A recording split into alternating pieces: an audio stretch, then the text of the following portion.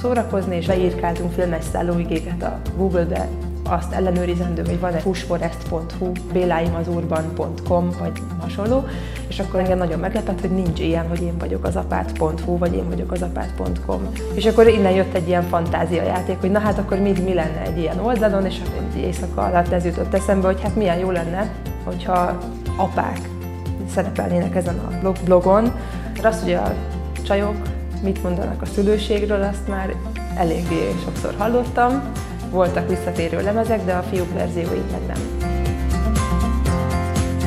Azért jó a Mikivel készített interjú, mert abban egyrészt több a Miki, mint én vagyok, és a Mikiből is olyan gondolatok jöttek ki, amik annyira tiszták voltak, hogy én nem tudtam se elvenni, se hozzájuk tenni. Én nem voltam senki másnak a kórházi ágya mellett, amikor egy családi tragédia történt vele.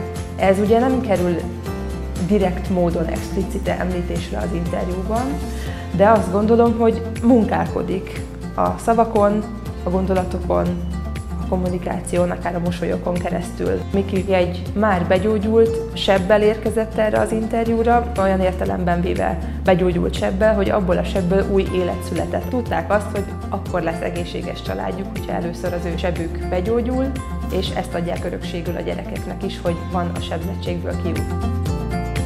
Nekem az volt a tapasztalatom, hogy igenis léteznek olyan férfiak, akikre apaként igenis föl lehet nézni, igenis azt lehet mondani, hogy ők ott vannak, törekszenek jelen lenni, törekszenek szeretni a tőlük telhető legtöbbet megtenni. A mindennapi apák szólamát haknak éreztem a híres emberek apaságának szólamaihoz képest.